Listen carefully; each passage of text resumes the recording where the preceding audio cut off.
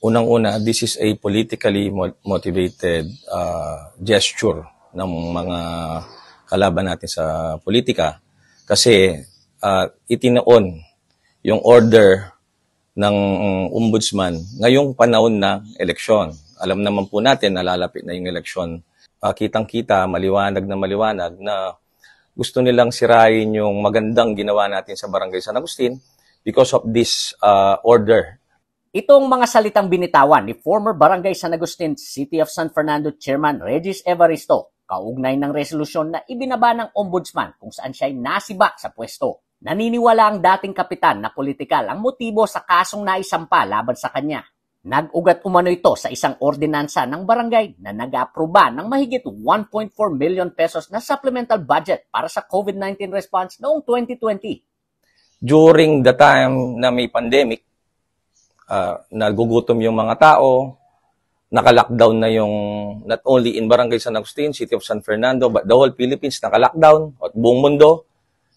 Kailangan natin gumawa ng paraan para mabigyan natin ng mga ayuda o pagkain man lang yung mga kababayan natin dito sa barangay. Bagamat hinatulan siya ng dismissal from service ng Office of the Ombudsman, nanindigan ng kapitan na walang basihan ang kaso laban sa kanya. Pinabulaan na ni Evaristo ang paratang ng kanyang mga barangay kagawad na sina Christopher Manlutak, John Miguel Raymond Laos, Emerito Carion at Abigail Mercado na hindi umano aprobado ng Barangay Council ang nasabing ordinansa. Sa ipinakitang barangay ordinance ng dating kapitan, lima sa siyam na miyembro ng Barangay Council ang pumirma dito maliban sa mga complainant sa kaso. Approve po to. Approve po to. Majority of us approve this Sangguniang Barangay Resolution.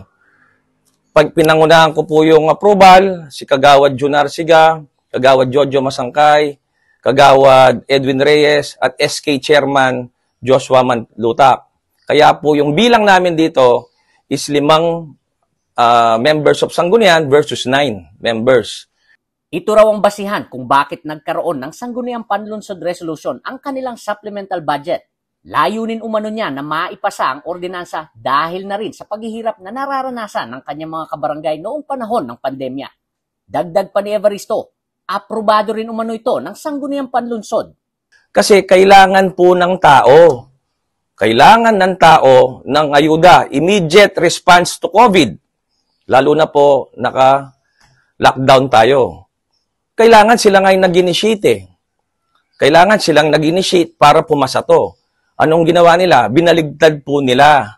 Hindi po sila pumas, hindi po sila nag-approve dito sa Sangguniang Barangay Resolution. Tapos sabi nila, walang quorum. Maliwanag na maliwanag na may quorum.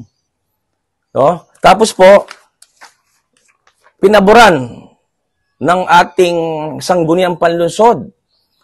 Resolution number 2020-246 na granting favorable review to the supplemental budget number 1 Barangay San Agustin.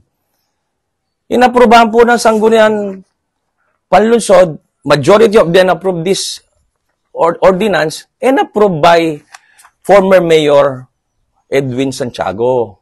Kaya po, nagkaroon tayo ng, ng pera para pambili ng mga goods, pamigay sa mga kababayan natin sa Barangay San Agustin. Kasama pa raw niyang namahagi ng nasabing ayuda ang mga kagawad na hindi pumirma sa ordinansa. So, Napunta tayo po doon. Ito po yung kumpletong uh, disbur- disbursement vouchers. Ito po, kumpleto to, ganyan kakapal na disbursement vouchers na lahat po ng ginastos natin nandito po fully uh, liquidated. Fully liquidated. At kasama po namin man, namimigay sila. So, ibig sabihin po, hindi mo inaproban yung sanggunian barangay resolution kasi di nakikita ng tao. Pero kapag namimigay, nandun ka, kasama ng tao, pero hindi mo siya in-approve, tapos kakasuhan mo yung kapitan, dahil, dahil hindi ka nag-approve, di ba bubaligtad data yung nangyari, di ba? Patong-patong umano ang asunto ng mga kalaban ni Evaristo, subalit nagsumiti na umano ng motion for reconsideration ang kanyang kampo upang makakuha ng reversal sa naging desisyon ng ombudsman nag-shopping po sila eh. Alam po yung shopping, lahat ng kaso na pwede, grave misconduct, grave abuse of authority, serious dishonesty, uh, graft and corruption, malversation of public funds, Sinyaping nilang lahat, sinama nila sa lahat ng asunto. Proudly to say, yung other than the grave misconduct, yung number one is graft and corruption and uh, malversation ng public funds, dismiss po. Ulitin ko po, dismiss po yung with pertaining to pera. So, kaya ko po uh, inaano yung sarili ko ngayon kasi wala po tayong nis kusing na pera na kinuha. Nakita po ng office na the ombudsman yan. Nagpasalamat naman si Evaristo sa kanyang mga kabarangay na sumusuporta sa kanya at ayon pa dito ay hindi umano perpetual disqualification ang hatol na ibinaba ng ombudsman sa kanya. Dismiss tayo pero wala siyang perpetual disqualification. Ibig sabihin, sa panahon ng, ng alalan or para, parating na alalan, anything na gusto kong gawin, magagawa natin for the sake po ng ating mga kabarangay sa San Agustin. Samantala, nitong March 13, nanumpa na ang first kagawad ng barangay na si Kagawad June Arsiga bilang bagong kapitan. Ako po si Felix Barrios, taga rito, kasama nyo para sa CLTV 36 News, atin to.